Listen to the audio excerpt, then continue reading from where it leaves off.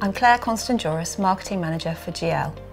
We provide smart charger points to Spitfire homes. The government introduced legislation in 2022 that all new homes must have a smart charger installed on their property. Spitfire install these as standard across all of their new homes. Careful consideration has been made for flats and apartments who also have allocated car parking spaces. With ever increasing numbers of EV vehicles on our roads, it's important for new builds and new houses to have chargers installed to improve the infrastructure across the UK.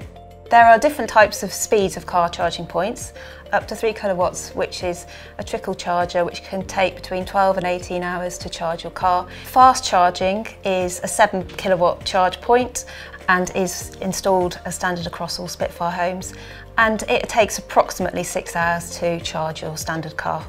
Our EVIQ car charging point is Wi-Fi enabled and comes with a free smart app called Electric Miles.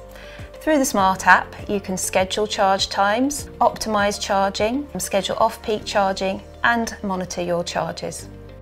By having a Spitfire home with smart charging point installed as standard, even if you don't have an electric vehicle at this point, you may still be running your petrol or diesel car, by having one installed, you're future proofing for sort of five, ten years time when you may need to upgrade your car and uh, the, the car charging point will be here all installed and ready to go for you.